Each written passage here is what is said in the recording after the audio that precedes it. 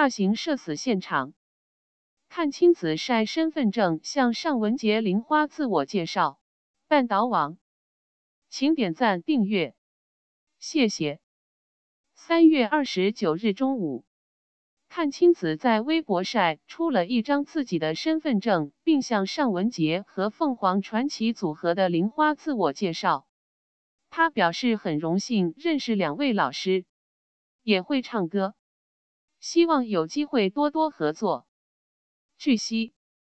前些日子，阚清子、尚雯婕与凤凰传奇组合的玲花共同录制了综艺节目《听解说》，但令人尴尬的是，其余两人并不认识阚清子，甚至连玲花还曾与阚清子一同合作过。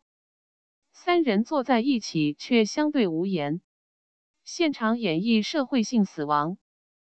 听解说的后台简直就是大型社死现场。尚雯婕、玲花看青子一见面就沉默了。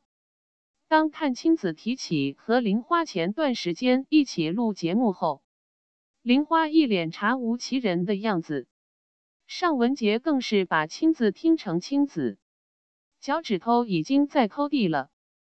尚雯婕看着玲花，眼睛瞪得老大。玲花战术性大笑掩饰尴尬。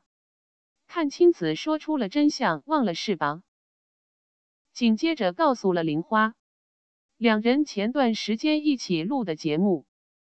看青子还坐在玲花的旁边，那边看青子一脸苦笑，玲花要尴尬死了。尚雯婕听完哈哈大笑，一边笑一边拍大腿拍椅子，人都要笑模糊了。随后，尚雯婕发文回应，是真的年纪大了。在此群发对不起，还配上了自己的表情包。而阚清子也在评论中回复，约尚文杰一起上厕所。